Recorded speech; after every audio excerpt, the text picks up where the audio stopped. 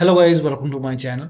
Today in this video I'm going to show you how to fix when you're unable to install this update that is KB5063878 on your Windows 11 computer. Now the first step is to run sfc and dism command. Now for this type in cmd in Windows search box, make a right click on command prompt tab and then run as administrator. Make sure that you open command prompt as an administrator only and then click on yes to allow. Now copy the first command. This command is provided in the video description. So copy it and then paste it over here. Hit the enter key and let the scan complete. This process will take some time. And once this is 100% complete run the second scan. So copy the second command paste it on the same window hit the enter key. Once the second scan is complete try to update your windows 11 still not working? Start app readiness service now. For this type in services in windows search box. Click on services.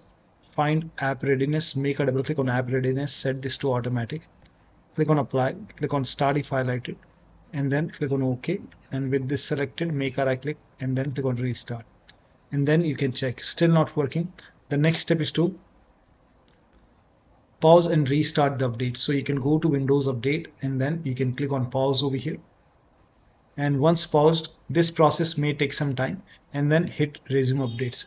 And then you can check still not working. The next step is to start windows update and background services. Now for this type in services in windows search box and then find Windows Update in the list. Scroll down here, you can see Windows Update. Make a double click on Windows Update. Set this to automatic. Click on Apply. Click on Start if highlighted. Then click on OK. With this selected, make a right click. Click on Restart. Now find Background Intelligent Transfer Service. Make a double click. Set this to automatic.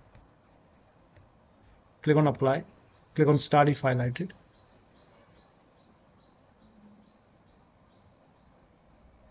And then click on OK. With this selected make a right click and then click on restart. And once this is done try to update your Windows 11 still not working. The next step is to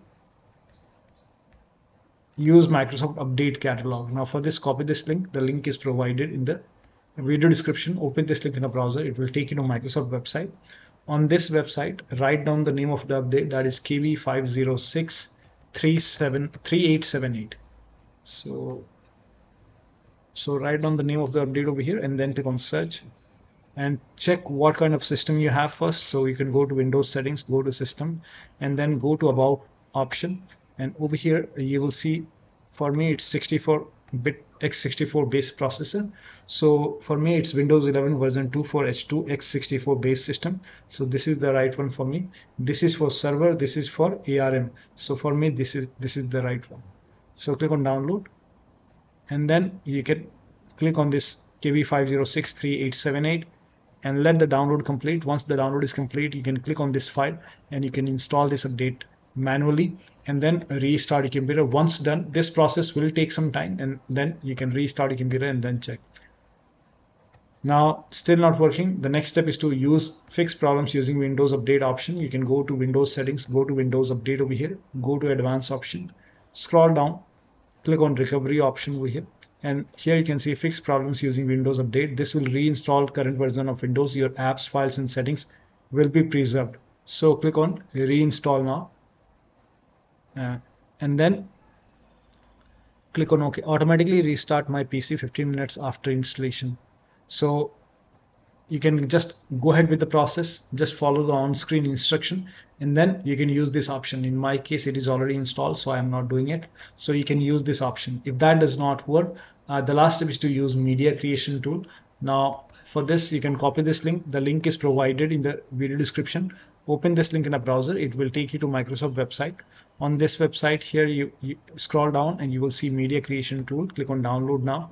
And then you can run this exe file now, once you run the exe file, you will see the screen. Click on accept over here. And then by default, Windows 11 would be selected. Click on next. Select ISO file. Click on next. And then you can save it to desktop, save. And then let the download complete. This process will take some time.